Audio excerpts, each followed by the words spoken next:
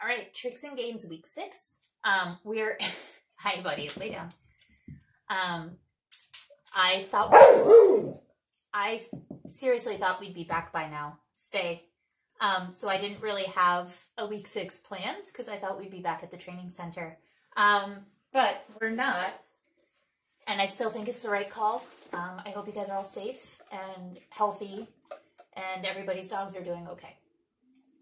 So what we're going to do today, um, I, we're going to do a tic-tac-toe game, which I've already recorded, um, depending what order you watch these in.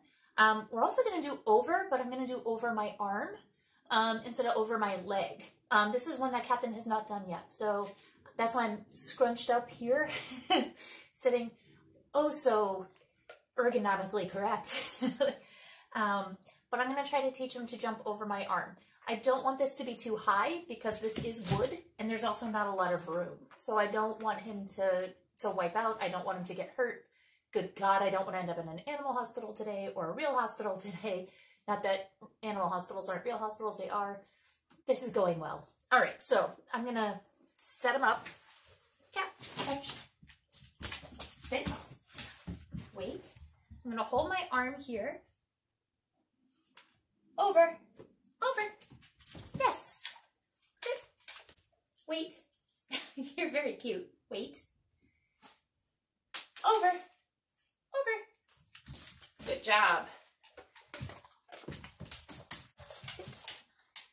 Wait. Over. Oh, he's confused. It's okay. Back, back, back. Nope. Nope, nope, nope, nope, nope. Try again. Sit. Wait. Over. Over. Good boy. Over. Oh, yes. So play with over. Um, one of my cat down. Wait. Shh. One of my um, disc dog students used to do um, in her routines, and it always looked really great. Um, she would hold, um, she would have her discs in one hand, and she would just sit on the floor like this and have her arms straight out like this. And her dog would jump over one, turn around, jump over the second. And when he did the second, she'd pick up the disc and just throw it so he could just go. Um, and I always just thought that, that was so graceful. And it was really, really cool to watch. It was a variation of over off the leg, um, which we've done a lot if you've taken my disc dog class or if you've done any, any other tricks and games classes. Um, if you need help remembering what over looks like, we can start here with our leg. I'm pretty sure we did it. Um, if there's a video, I'll put it up here. If there's not I forgot, forgive me. Things have been a little stressful. Um, but you start with your leg out here. Cap, over. Yes. Over. Yes. Over. Yes. Over. Yes. And then as they get better, you find a little height. Cap, over. Yes. Over. Yes. So again, I want you guys to be very careful. Don't ask for too much height if you're on a slippery surface like a floor, like a wood floor, linoleum floor, anything like that. Um, if you have those cool little um, interlocking mats that you can put down, awesome. If you've got a yoga mat, um, they're not going to absorb a lot of the weight of the dog coming down, so you don't want them running at you full steam and really doing an over. You should just do that outside um, in grass. That's you, touch.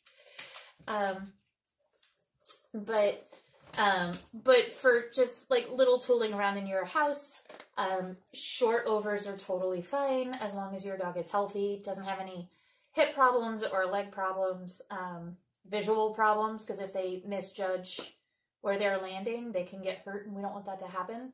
Um, so don't let them go all out and just leap over anything at any height because they can get really hurt and we don't want that. Um, but in a controlled setting, you can do some work um, in your home. you look good, buddy. yeah, that's you. Um, so try it over the arm, over the leg. Stay, good boy. Um, and and then the tic tac toe thing. Um, and I'm gonna try try to come up with another game for you guys for tomorrow. If you guys want to, um, one big thing that would be very helpful. Um, we all thought that we'd be back at Every Dog by now, and it's clear that we probably won't be for a while. Um, so if you could rate and review Every Dog Training Center um, on the socials. um, reach out to your trainers and um, ask them what they can do to help you. Um, we're doers, we want to help. And some of us are feeling a little lost without having a connection to our students.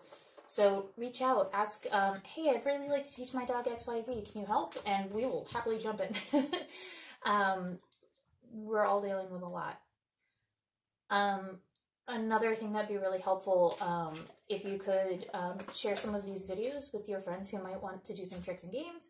Um, aside from the payment that I took from the students to um, to be able to create these um, videos to begin with, I decided to make them um, public as of when the class is over. Um, hopefully to um, make it make training accessible for people who don't have um, who might have been dealing with COVID or might have lost their jobs or might have not might not might have the expendable income to be able to spend time with their dog or to encourage people to to hang out with their pet um, and have a little bright spot in their day. Um, so I will not be taking payment for these classes. I ended up sending those ahead to make sure that the um, that the training center can hopefully stay afloat. Um, my hope is that um, if you've if you're able and willing, if you could check out my book, Considerations for the City Dog, and tell your friends about it. Um, if you've read it, if you could review and rate it on Amazon, tell your friends. Um, it has nothing to do specifically to cities. It's just things that you need to consider if you do live in a city, but it does work for um, everything in there is applicable for every dog in the country, in the city, in suburbia, um, in a yurt. um, on a boat. I feel like this is going to turn into a Dr. Seuss thing. Um, but if you would be so kind as to either purchase it or tell your friends about it, that would be probably the biggest help for me right now um, as a trainer because I think that will be my only income for a while, and and I know that that that I'm incredibly lucky to even have that option. So tell your friends, um, keep training with your dog, and if there's anything at all that you need, please don't hesitate to reach out to me, to Captain. He's here still. He's eating. Sit. Touch. Sit. Good boy. Um, to Leah and Diane and Lucy and Dan and Yana and the entire team, Nikki and all of our friends at um, at Every Dog Training Center and Ranger and friends. um, find us on Instagram. All of your trainers are up there somehow in a meaningful way, so you can follow what we're doing there. And we hope to see you guys again very, very soon in person. Um, and when we do, it might be really emotional because um, I miss you guys a lot. All right, I hope you're healthy. I hope you're safe. I hope you enjoyed these videos for the last six weeks, and thank you for trusting me with this. Um, this was new for me.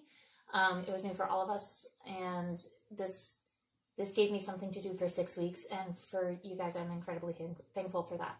So be safe.